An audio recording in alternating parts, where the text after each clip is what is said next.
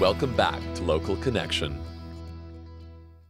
We're here with our crew embracing the relaxing lifestyle of farm life. What's not relaxing is the intense sport of rowing. We catch up with the teens of the Delta D's Rowing Club. Okay, paddle! These junior rowers may seem experienced, but they haven't been at it for very long. I chose rowing because I wanted to try something new that I'd never done before, and I was looking for a sport that was committed and determined and kind of demanding. So I tried rowing and I really liked it. They come here very focused, they are ready for practice, they are going out on the water, they're pushing each other and helping each other and reaching their goals and supporting each other. And as a result, each one of them are actually reaching those goals and, and getting what they want out of the rowing. One of the rowers, Jake Elward, is well on his way to achieving success. I was just at the Royal Canadian Henley over in St. Catharines, Ontario, and uh, I got 10th overall out of 45 people, and it's like it's an international event, so there's there was like a team from Argentina there and from Europe, and it was pretty cool. There are many challenges while rowing, but one in particular seems to be shared by most rowers. It's that mental game that you have to play with yourself when you start to get tired, you start to lose your focus. And especially this happens in a race because during practice, we have really supportive coaches, we have a really supportive team, and they're always there to sort of cheer you on and support you during practices. But if you're in a singles race, it's you against the other boats. It's you, you have to encourage yourself, and learning how to do that is quite a challenge. These rowers have sage advice for experienced rowers and newcomers alike don't get too frustrated with yourself because I'm still pretty new and I remember my first time rowing and I got so frustrated and you just got to stick with it and then you'll pick it up right away. It can sometimes be hard to stay with at first, but if you stay with it and you get committed and you work it into your schedule, like, it, there's, there's tons of opportunities and there's so many different levels of competitive that you can go to. It's difficult at first. You're in this boat, it's tippy, it's hard to stay upright, you probably will flip, but after you get comfortable in the boat, it's just so much fun. So stick with it and you'll have a great time. Feel that tug through your shoulders. Crucial timing, communication, and teamwork ensure success right here on the water. And the members here at the Delta Rowing Club certainly have mastered those skills.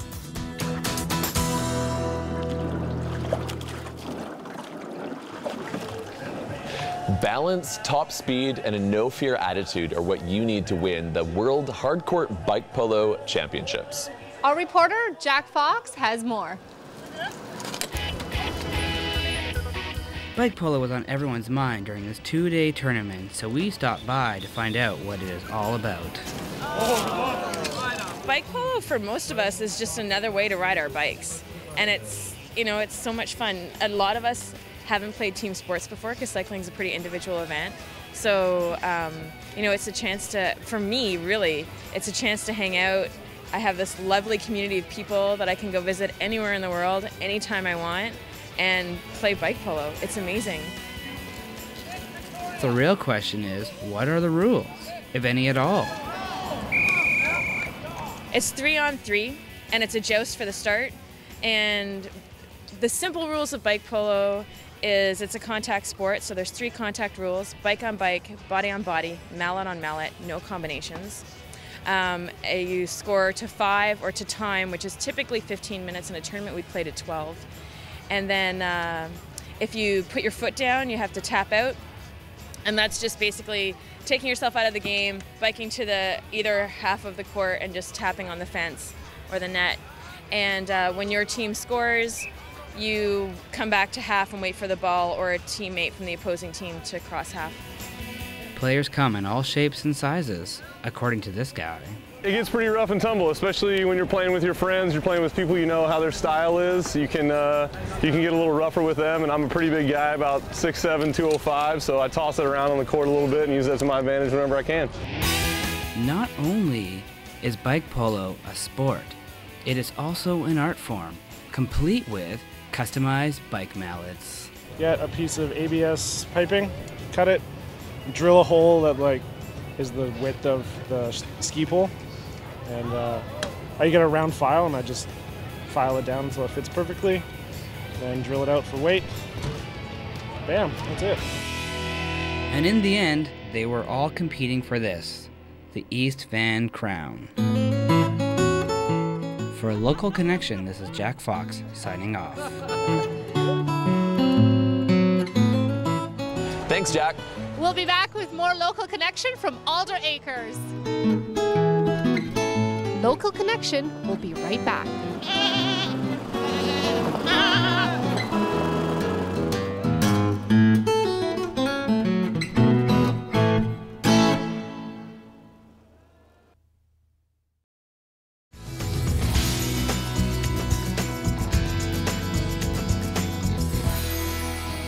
Welcome back to Local Connection.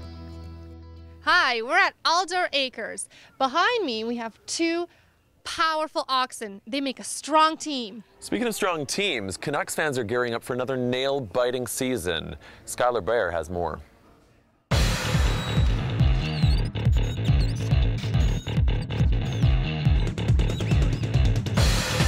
The Canucks are back. We're here at the first preseason opening game where our own Sea Blue returns to Vancouver to take on the Calgary Flames.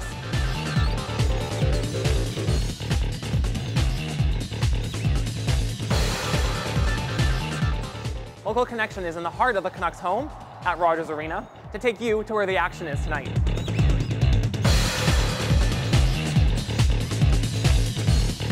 So, Canucks gonna win tonight? Hopefully. Sure they are. they got to start off a good season. Absolutely. It's a great chance to see the young guns coming Yeah. out there, look, you know, trying to get their spot on the team. This is what it's exciting about the pregame. It's been a long summer getting over this Game 7 loss, but you know, the whole city's pumped, BC's pumped. We're just really excited for tonight.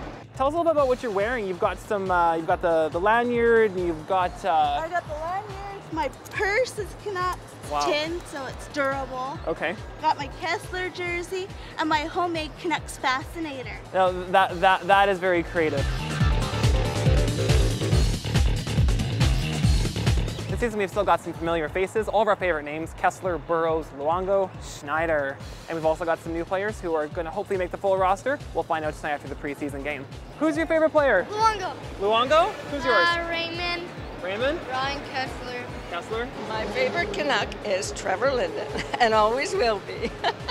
My favorite player is Luongo. Kevin Bieksa. Who's your favorite goalie, Luongo or Schneider? I'll pick Luongo. Luongo? Yeah.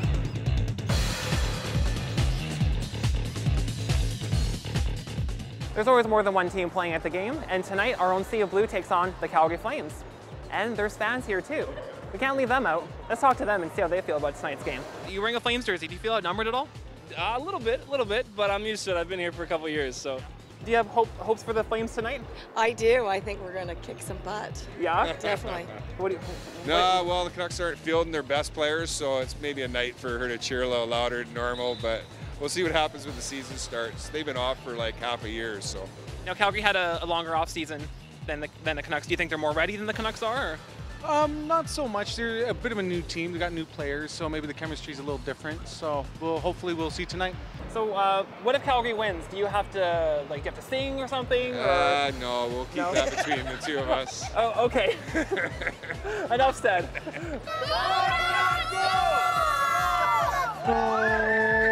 Fans are pumped. This is such an exciting night. The preseason opener is drawing so many excited fans and different kinds of fans and even fans from like Calgary, Edmonton, and Winnipeg. It's just a really great night. It's bringing really bringing the energy back into Vancouver. Um, you know, really welcoming the Canucks back into the season after such a successful season last year. We only had a three-month uh, short off season, but you know what? The Canucks are back and ready and energized as they'll ever be. And with the support of all the fans here, I don't think they're going to let anyone down, and they're going to make it far. So we wish them all the best. Go Canucks, go! Go Canucks, go! Go get them! Go Canucks, go! Go Canucks, go! Go Canucks, go! She said, "Go Canucks, go!" Go Canucks, go! Go Canucks, go! Go Canucks, go! Go Canucks, go! Go Canucks, go! Go Canucks, go! Go Canucks, go! In Vancouver, this is Skyler Baier for Local Connection. It's that time in our show when we connect to our local community. Our reporter Dominique Armand finds out what you have to say. Thanks, guys. Today I'm asking you, what is your favorite thing about the fall season? but what I like is the view of the uh, skyline. It's very nice, and when the colors change of the trees. We have the four seasons, uh, you know, really well defined. Where I'm coming from, you know, it's uh, basically just one season. So uh, yeah, this is beautiful. The orange trees falling. We were just talking about it. That's it. I see that And and and the crisp weather. I love it. I guess I'm looking forward to the leaves changing and what the city's like, what the atmosphere is like, and everything. One last shot at summer. Uh, it's the rains haven't quite arrived yet, but uh, that's about it. What about you guys? Uh, I like cars. You like, you like the colors? No cars. The cars? I guess my favorite thing about the fall is it's not too hot to still keep walking, but it's still nice and dry out here for the seawall. It's beautiful. I mean, it's a lovely city, beautiful sunshine, great watching the float planes come in. Just off to have a pint. what What more do you want? all the things in Canada is beautiful, is wonderful, and the best thing I, I think is the, the climate, the the wind, the the, um, the the maples, all the things is beautiful. You'll walk along the seawall with the uh, nice breeze off the ocean. The crisp air. It's fun. It's, it's colorful spectrum. Like you can see people from all different life, different country, and all there. It's fun. Um, I like kicking the leaves. Oh, you like kicking the leaves? Yeah, And what color are the leaves? Fall. Fall? Yeah. Well, we got some great responses from our friends in Vancouver, but one of my favorite things in the fall is that for three years in a row now, I am the best pumpkin carver amongst my friends. Back to you guys. And what is it that you love about the fall season? Well, that's a wrap here at Aldor Acres. Thanks, Albert Anderson, for giving us the lovely tour of the farm. And if there's any stories that you would like to share with us, please feel free to visit our Facebook page or YouTube channel. For Local Connection, I'm Roxana Oltean. And I'm Michael Barry Anderson. Thanks for watching.